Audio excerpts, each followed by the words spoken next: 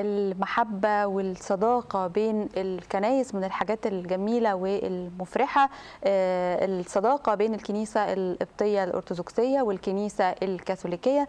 امبارح قداسة البابا المعظم الأنبا تواضروس الثاني استقبل اتصال هاتفي من بابا الفاتيكان البابا فرانسيس بمناسبة حلول الذكرى الثامنة ليوم الصداقة بين الكنيستين.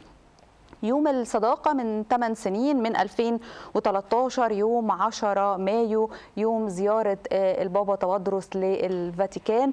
وده كان بمثابة عيد يعني على مدار 8 سنين لكن الحقيقة المرة دي بسبب طبعا ظروف كورونا في العالم كله فما فيش أي نوع من التجمعات الصلاة اللي ممكن تكون في الكنايس لليوم ده. لكن في كل الأحوال في المكالمة دي كل واحد من الآباء الأجلاء البابا تواضروس والبابا الفاتيكان البابا فرانسيس اتمنى الخير والسلام للعالم كله وللكنيستين. من الحاجات الحلوة قوي اللي حضراتكم تابعتوها طبعا الفترة اللي فاتت زيارة البابا فرانسيس للعراق.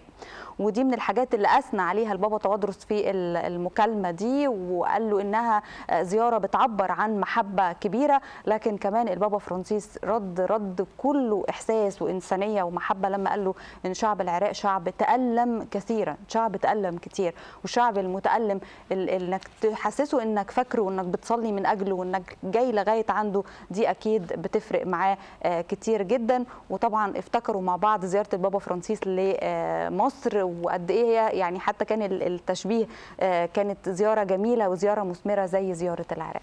هي من كان من الأخبار الجميلة الخبر اللي قالته هبة يعني يوم المودة ويوم المحبة بين الكنيستين القبطية الأرثوذكسية والكنيسة الكاثوليكية.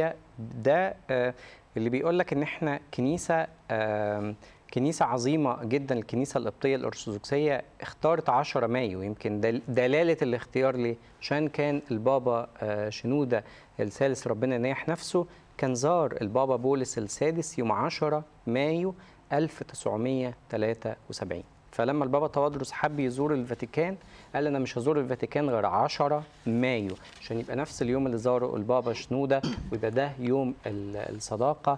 فحتى التعبيرات جميلة بتقول إن الكنيسة القبطية كنيسة ممتدة جيل بيسلم جيل ودي حاجة جميلة وحاجة محترمة.